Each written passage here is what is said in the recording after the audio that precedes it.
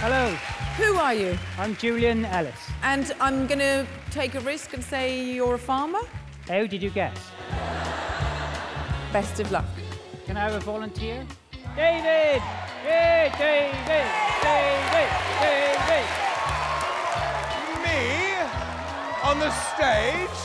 But I'm so terribly shy. I can't go on the stage.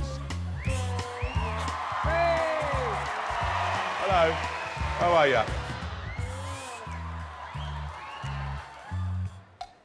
So I'm going to tell you a story about a cow called Petunia Rose Malou. the farmer loved her. As Petunia got older, Yes. it was time to find her a mate.